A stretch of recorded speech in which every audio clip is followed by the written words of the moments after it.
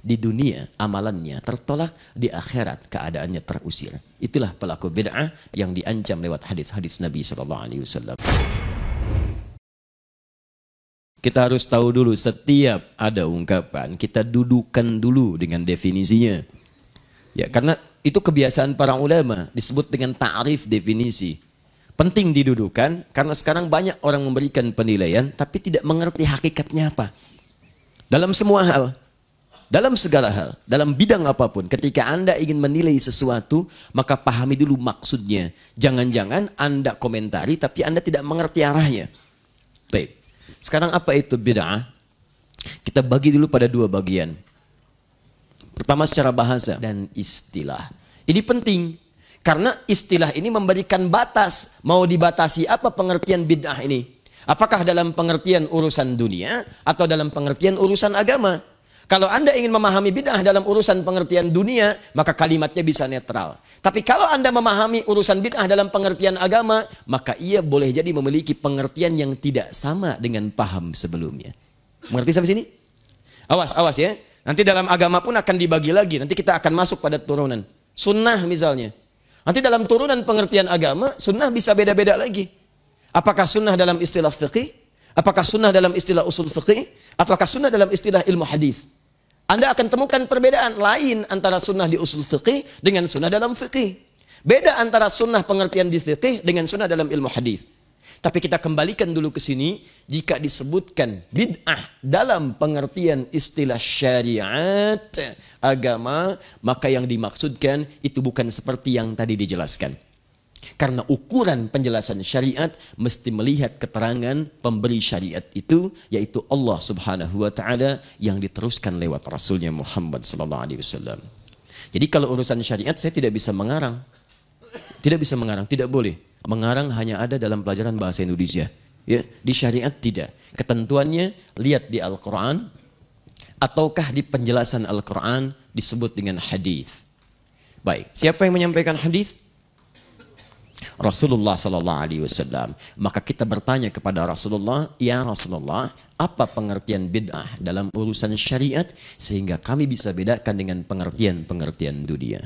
Sebab kalau Anda tarik pengertian dunia ke urusan syariat, bisa repot nanti ibadahnya karena semua boleh. Wah, itu salatnya pakai bahasa Arab. Orang Arab, saya mau orang Indonesia pakai bahasa Indonesia saja. Allahu Akbar baru eh, eh itu bid'ah memang inovatif salah Paham? Baik. Allahu Akbar. Ah, udah kebanyakan kiri duluan. Saya mau kanan duluan. Allah. Kadang kaki naik dikit, ya. Ah, muncul lagi. Assalamualaikum warahmatullah. Assalamualaikum warahmatullah. Dia cuman kepalanya doang. Tangannya ke mana? Assalamualaikum warahmatullah. Assalamualaikum warahmatullah. Contoh. Kalau semua perkara urusan dunia ditarik ke dalam urusan agama, maka para ulama mengatakan setiap orang akan mudah melakukan dan mengerjakan apa yang ia inginkan maka tidak teraturlah urusan agama itu kemudian. Jelas di sini? Baik, turunkan ke sini. Kita akan bahas tentang turunan ini dengan menurunkan ayat-ayatnya. Boleh saya hapus dulu? Alhamdulillah. Baik ya. Ah, baik silakan Pak. Jazakumullah khair. Boleh Pak, Masya Allah. Ah, sebentar Pak, ini teman-teman materi ini penting. Saking pentingnya, polisi aja susah ngapusnya tuh. Ya, Jazakumullah. Silakan Pak. Masya Allah. Oh. oh apa saya bilang? iya Pak, lebih mudah nangkap penjahat dibandingkan ngapus Pak. Jazakallah. Baik. Baik sampai sini aja Pak, cukup biar saya di sini dulu. Bapak, Masya Allah, jazakumullah. Semoga muliakan Pak Suhaidi. Baik. Nanti kita ke Mekah Pak ya, sama-sama tanggal 24 Desember. Dan kita di depan Ka'bah memohon kepada Allah. Dengan insya Allah saudara kita Muhammad Zuhri. Dan kami sampaikan insya Allah uh, dengan juga saudara-saudarinya, saya ingin mengajak keluarganya karena saya dengar ayah ibunya juga sudah meninggal dunia, maka kami gantikan dari ayah ibu itu. Uh, mulanya kami ingin mencoba membantu untuk juga bukan membantu sebetulnya hanya Allah titipkan kemudian kita uh, hadirkan sifat berbagi untuk merenovasi rumah tapi ternyata alhamdulillah TNI sudah bergerak yang lain bergerak maka saya kira kami alihkan nanti insya Allah mengundang saudara Muhammad Zuhri dengan seluruh saudaranya ada empat orang kita bersama-sama menunaikan umrah insya Allah cukup Pak sampai di situ dulu baik ya Nah, sekarang kita akan tanyakan pengertian bid'ah menurut syariat. Yuk, satu. Hadis kita ambil yang paling sahih saja supaya mudah dipahami. Pertama Al-Bukhari. Kemudian hadis Muslim. Dua ini saja, nomor hadis 6259, nomor hadis 1718. Asar lebih 2 jam 3 menit. Asar kan 15.13, ya. Ini 17.18. Kemudian di hadis Muslim juga, ini yang disebutkan bid'ah langsung, nomor hadis 867. Ya. Fokus. Saya akan mulai dari yang ini dulu. Setelah itu baru nanti saya turunkan ayat-ayatnya. Saya mulai dari sini karena di sini kalimat bid'ah langsung disebutkan.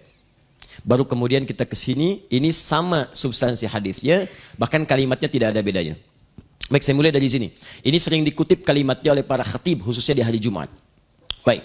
Fa inna asdaqal hadits kitabullah.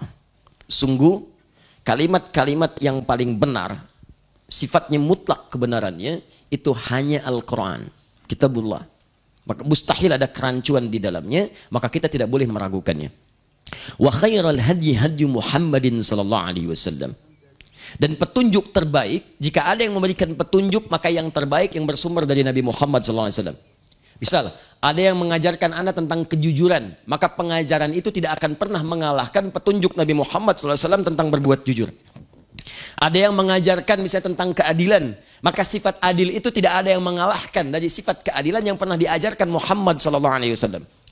Maka setiap yang mendapatkan pengajaran dari beliau, Anda mesti praktekkan dan tunjukkan kepada lingkungan bahwa Anda yang terbaik. Makanya sifat umat ketika mengikuti petunjuk Quran, mengamalkan petunjuk Nabi, maka turun pujian dari Quran langsung di Quran surah 3 Ali Imran ayat 110. Kuntum khaira ummah. Kalian umat terbaik. Khair itu maksudnya baik dalam segi sifat. Kalau sifat menjadi sikap, berubah jadi ma'ruf. Jujur itu sifat. Ketika Anda bekerja di sogok kemudian Anda menolak, jujur misalnya, itu sikap. Yang pertama khair, yang kedua ma'ruf. Kata Al-Quran, Anda itu dari sifat saja mesti lebih baik dibanding yang lain. Kalau ada orang jujur, Anda mesti lebih jujur. Kalau ada pemimpin yang lain adil, Anda mesti lebih adil. Kalau ada orang sabar, Anda harus lebih sabar. Karena kita punya dua pedoman terbaik untuk mewujudkan itu semua. Ketika Anda bisa menjadi seperti itu, maka di mana pun Anda tinggal akan terangkat harkat, martabat, dan kemajuannya. Karena motivasi Al-Quran selalu menghadirkan lebih baik. Sekarang itu saripatinya diambil oleh bangsa-bangsa di tempat lain diterapkan oleh mereka. Dan kita buang-buang energi untuk mencelaknya karena nggak ada kerjaan.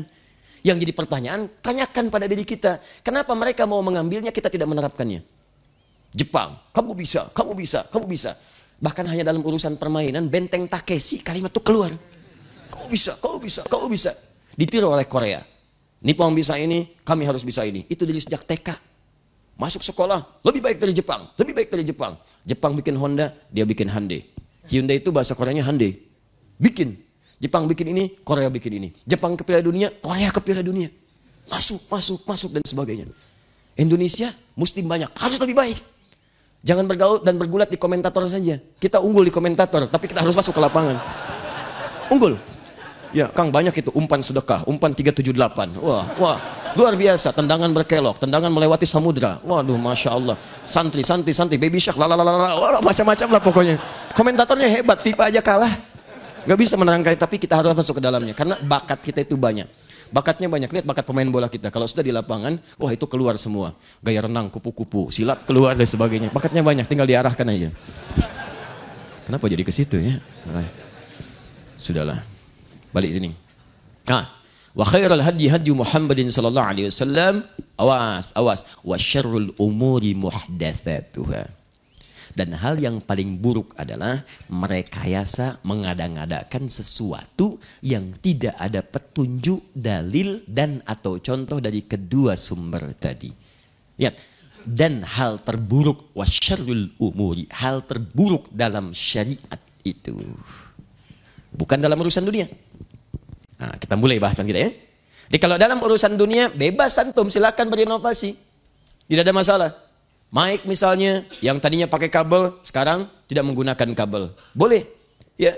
Apalagi ini sekarang besar, besok bisa jadi kecil. Ada yang nempel di telinga, ada yang macam-macam. Silahkan, tidak ada masalah. Sekarang orang presentasi, itu touchscreen sudah nggak bawa handphone lagi. Di beberapa tempat sudah menggunakan lebih canggih lagi.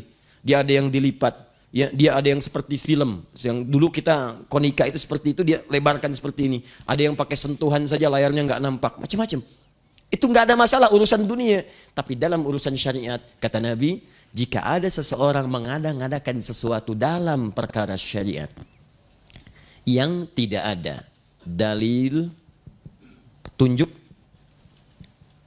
dan atau kalimat ini mesti muncul dan atau contohnya awas awas saya tuliskan ini pertama saya garis bawahi dan saya katakan dari sekarang dan tolong jangan dihapus yang ini ya, oh, ya.